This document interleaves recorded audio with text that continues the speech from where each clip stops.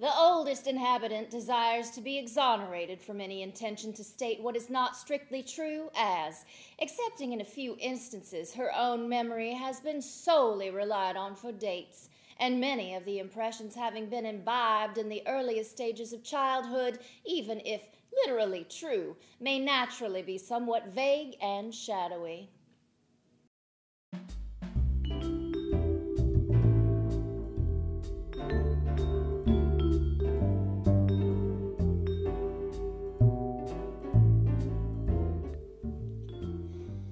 Didn't hear this from me.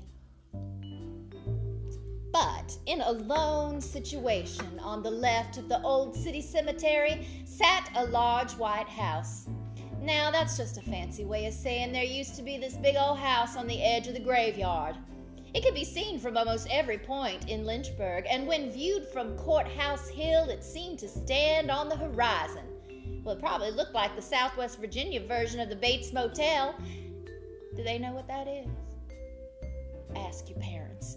Uh, the location of this dwelling was melancholy, and consequently, the rents were seldom collected and the taxes were dubious. If you've ever dealt with a landlord or the government, you know that is really saying something.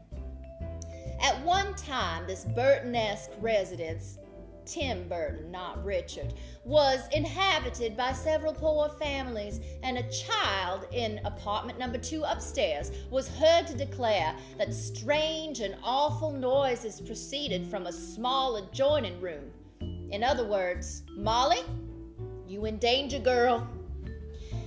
This child's parent was one day sunning himself in the yard by way of killing time when a strange man in a voluminous, old fashioned white greatcoat appeared, offering to him the usual salutations with great solemnity.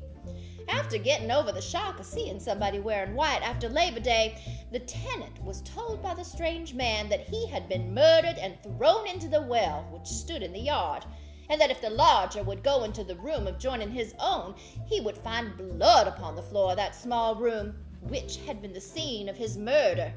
If nothing else, I can say it was very nice of that ghost to follow up on his own murder, though I suppose if he was walking around Lynchburg in the 19th century, he didn't have much else to do.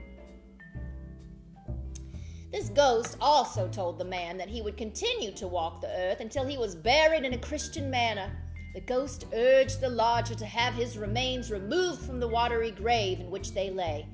And we all know what kind of curse comes when somebody is left at the bottom of a well. Seven days later, Lynchburg was going to have one heck of a confusing film franchise on our hands. The story of the ghost gained ground. Crowds of looky loos went to see the bloodstained floor and to listen to the lodger tell all about how he sees dead people.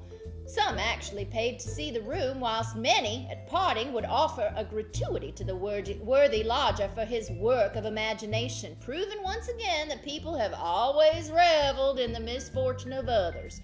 And when thus encouraged, the narrative improved, fresh horrors being constantly superadded. It seems the lodger yes anded his way into a tidy profit.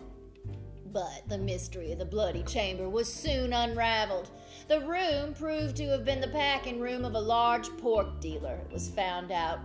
And the occupant of the apartment had, on former occasions, not been at all scrupulous about telling the truth, particularly when money could be made. In other words, he would have gotten away with it too if it wasn't for those murdering pigs. But that's none of my business.